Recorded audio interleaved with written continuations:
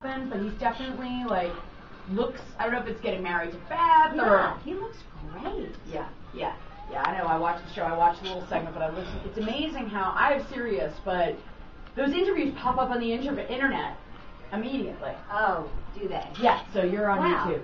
Wow. Okay, so let's just make sure that. And where have you been already this morning? I don't know. I think you were on Fox. I saw um a commercial for that. You're like, I don't know. I understand. A book tour is a blitz. Yeah, it is. I bet this is something completely new for you. I mean, Totally. Yes, it's very new. because people, it's just it, people don't realize how tiring it is. Yeah, it's exhausting.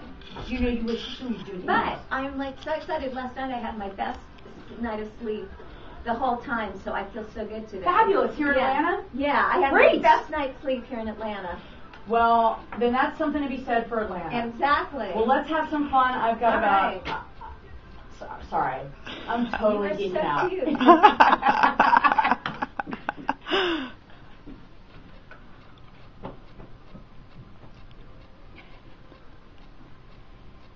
Ninety-two nine Dave FM. That's the latest from Mark Broussard called "Keep Coming Back." All right, Maureen McCormick is here. It is so nice to see you. Thank you. It is so nice to be here.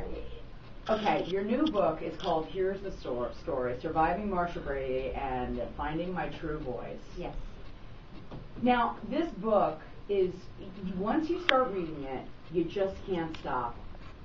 It, your story is pretty fascinating. Yeah, it is. It's pretty amazing. Now, what I think most people don't realize, and what was shocking to me, mm-hmm. is that, now correct me if I'm wrong, it Okay. seems like Yeah. Everything kind of opened up for you when you went on Celebrity Fit Club. That's when, Yes, it was such a great experience for me. I turned 50, and I think just turning 50, I kind of felt like, you know what? I don't have to hide anymore. I can be me. I can say what I've been through. This is cathartic. You know, other people can, you know, be reached by this. Why not just come out and be totally honest? Well, I think nobody really knew. Okay, now you've been all over the media. The book comes out. You've Right. been on all the shows, and every, eh, you know, all you're seeing in the headlines is Marcia Brady was on cocaine. Right, Marcia right. Brady's a mess. Right, right, right. But I think what's interesting is if the Brady Bunch had come out today, you wouldn't have had the same life. Things would have been very, very different. I think that's why we were all sort of surprised by this. Right, right. Back when we were doing the show, there was no paparazzi, you know, there wasn't the media that there is today. And uh, now, I remember hearing about back in the day.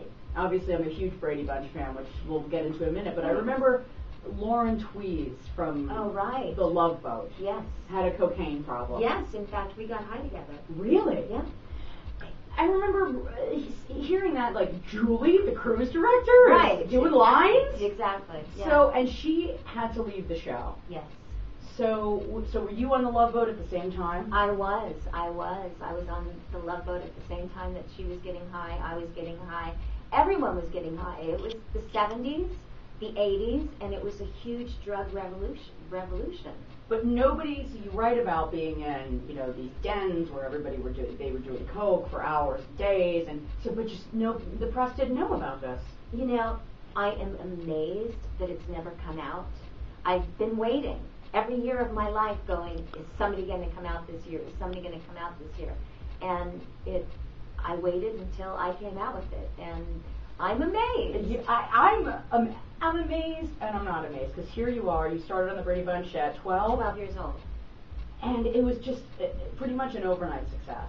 You know, it wasn't. Okay. The pilot came on, and it didn't do that well, and it got really bad reviews. The critics hated it. So do you think it's been in syndication that's made it so much more of a because I know that I grew up listening. My assistant Elizabeth, who's 25, uh, grew up watching you do. Are you serious? Every day at four. It's amazing. It blows me away. All these different generations. It blows me away. So, but I think, and this is why I was so fascinated with the book. We're on with Maureen McCormick. Your new book is called "Here's the Story." Is that watching Marcia Brady? Everybody wanted to be Marcia Brady. Everybody thought you were so perfect. You were beautiful. You you you, were popular. You were the oldest. and it wasn't so perfect. It wasn't. It wasn't. Behind the scenes, it was a whole another story. Um, yeah, when I was on the Brady Bunch, it was really, really hard because I had just found out my father had an affair, and I found out through that that my mother had been given syphilis through her mother, who died in a mental institution, not knowing who she was, going insane, and then her father committed suicide a week later, and I thought that my mom had passed the syphilis on to me, and that I was going to go crazy and die in a mental institution. I mean, who, So- who would have ever known that watching you on Right, there? right, nobody. But it's it's so weird because you know everyone says you know what were your favorite parts of the show.